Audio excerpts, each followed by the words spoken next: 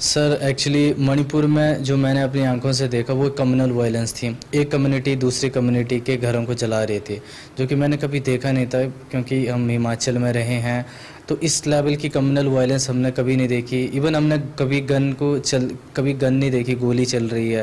वहाँ गोली हैं बॉम्ब फट रहे थे. और ये सब चीज़ें हमने बहुत क्लोजली देखी हैं. घर जल रहे थे. इवन जहाँ हमारा कॉलेज था, उससे 50 मीटर दूर वहाँ सामने घर जलाए जा रहे थे. और मतलब इतना ज़्यादा मतलब ये हमने लाइफ में नहीं देखा. पूरे पहाड़ को जला दिए गए कम्युनिटी के द्वारा, दूसरी कम्युनिटी ताकि दूसरी कम्युनिटी वाले आ ना सकें. तो ये सब हमने कभी लाइफ में देखा नहीं था और ये फ़र्स्ट टाइम एक्सपीरियंस था हमारा। तो हम तो सब बहुत डरे हुए थे, जितने भी नॉन लोकल्स थे आई थिंक इम्फाल में सर अराउंड थ्री थ्री को सर कर्फ्यू लग गया था शाम को ऑर्डर्स आ गए थे इम्फाल वेस्ट में। लेकिन जो हालात थे वो उससे दस दिन पहले से ये सब बने हुए थे। इवन हम न्यूज़ में देखते थे।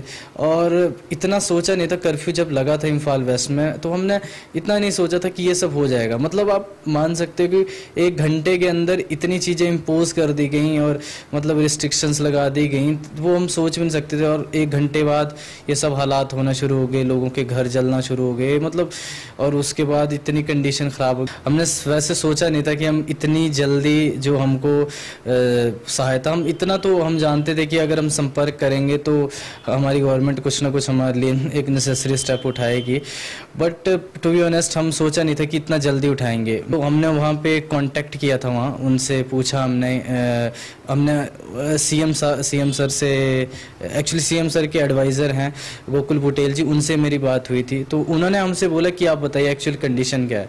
तो हमने उनको वहाँ की कंडीशन बताई कि सर देखिए और जब सर से मेरी बात हुई थी तो उसी टाइम पे बॉम्ब भी फटा था वहाँ पे और जैसे मैं बाहर निकलने लगा तो गार्ड ने बोला कि, सर, आप बाहर मत जाइए, यहाँ बॉम्ब फटा है। तो हमने तो बोला, सर, हम तो खाना खाने जा रहे हैं। तो मैंने एग्जैक्टली कंडीशन सर को बताई कि, सर, देखिए ऐसी ऐसी कंडीशन है और बहुत अनसेफ फील कर रहे हैं क्योंकि हम भी तीन हज़ार किलोमीटर दूर से थे।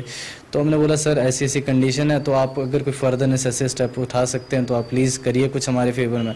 और टू बी ऑनेस्ट सर, ये हमारी शाम को बात हुई थी और सुबह छः बजे की हमारी टिकटें आ गई जो कि ये खुद में बहुत बड़ी स्ट्रेंज करने वाली बात है कि हमारी गवर्नमेंट हमारे लिए इतना मतलब सोच रही थी इतना पेन इतना मतलब टेंस थी, और उन्होंने छः बजे की सुबह की टिकटें आठ बीस पे हमारी फ़्लाइट थी, और जो कोलकाता की, फिर कोलकाता से हमारी फ़्लाइट थी शाम तीन बजे तीन बजे से हमको दिल्ली ले ले जाए